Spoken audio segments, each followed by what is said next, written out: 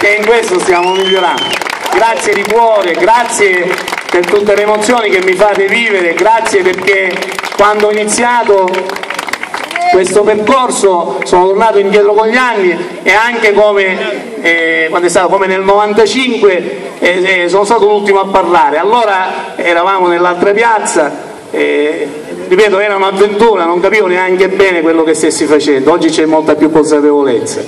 E allora c'erano soltanto quattro vigili urbani e Santo Giuffrida che mi faceva Giovanni. Tra l'altro non faceva freddo, io parlavo, poi a un certo punto si vabbè va. Stasera invece vedo che siamo tanti, siamo qui, c'è molta attenzione, io l'unica cosa che chiedo è il rispetto della mia persona, il rispetto della mia storia politica in questo Paese.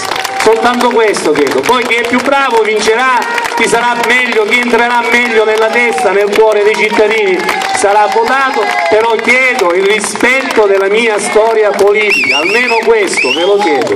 Grazie di cuore, un abbraccio e poi vediamo quello che succederà nei prossimi, nei prossimi. Io un saluto anche